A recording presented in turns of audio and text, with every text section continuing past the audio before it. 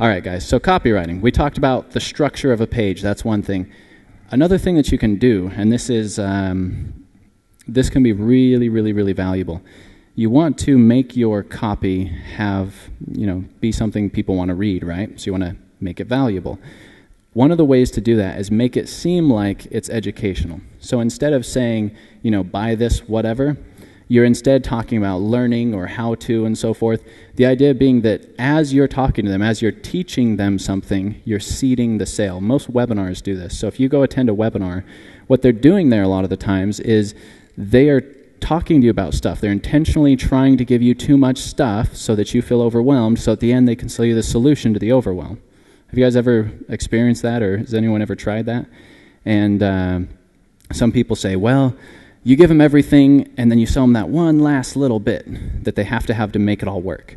And that's one school of thought is to really kind of, you know, hold them by the throat saying, well, I showed you all this. It appears to have value, but it doesn't actually have any value unless you buy. That is one school of thinking. The other one is simply to actually try and educate, educate, educate. Like we talked about warming your list last time.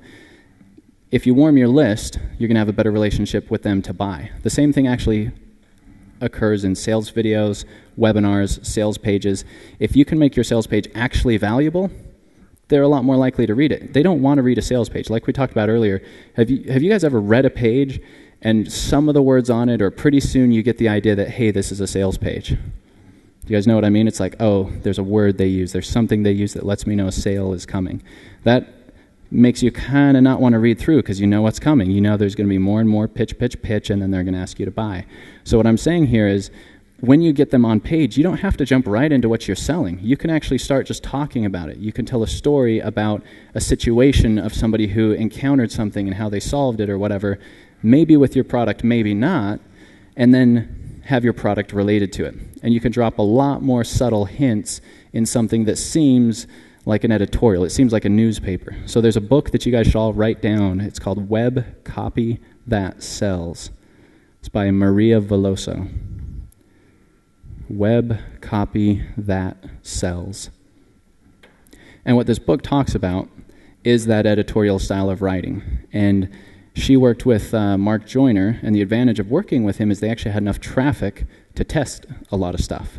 So you know, we talked yesterday about how how do you determine whether it's an A-B split test or a six-way split test, and it was well, how much traffic do you have? Because you need a certain number of people coming through to get any sort of relevant information from your tests, right? So she had enough information, she had enough flow of people coming through that company that she was able to test a lot of things. And that was kind of her main thing was if it looks like an ad, they won't buy it. If it looks like a sales letter, they won't buy it. Or maybe some people will, but you'll get a lot, lot, lot less traction. Most people, if it looks like an ad, first of all, won't click on it. And if it looks like a sales page, they're not going to read it. So you make your ad look like something that's leading to information. And you make your page full of information. And then towards the end is when you ask for the sale. So when I talked about attention, interest, desire, and so forth, I'm not saying attention, we have the best water filters in the world for 20% off. It's more of you know, how did this person go from being overweight and having cancer and heart disease and being depressed all the time to being incredibly happy, their skin is cleared up, blah, blah, blah, blah, blah. You know, well, I'll tell you about the little secret, but first, let me talk to you about some of the science involved. You know, and you're actually teaching, you're actually giving them relevant content that they're interested in that helps them understand their problems and some of the solutions. And then the, finally, at the end, you're saying, and this is a very light close, but you could say one of the options that most people take, and one of the things that helps out people in a similar situation is this, you know, water filter, purifier, or whatever it happens to be. I don't know if it, you do, you do have a shower head too, don't you? Yeah. So that's the idea is we're not talking about shower heads. We're talking about skin problems. And the whole thing's about skin problems. And at the end, we present the shower head as a solution. But even if they don't buy the shower head, here's the goal. Even if they don't buy the shower head at the bottom, the top part of the page still provided value. They still like you even if they didn't buy. And that's how your sales video should be. That's how your webinar should be. People shouldn't come to your page. And I'm sorry, I use the word shouldn't. There's not really a right or wrong, but you will convert better and you'll have longer relationships with these people if your marketing and sales actually contain some value. Because let's talk about a typical sales sequence. So we talked about, you know, sequences, right? Let's say the sequence has uh, a couple emails. And every single email says, buy my stuff, buy my stuff, buy my stuff, buy my stuff. And each email is leading to the same page that simply says, buy my stuff.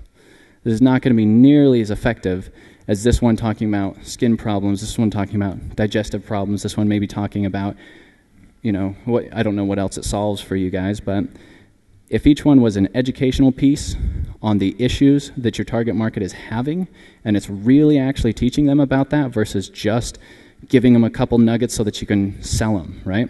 So if you actually teach them about this, the end goal is when they come out the end of this sequence, they should be happy whether they bought or not.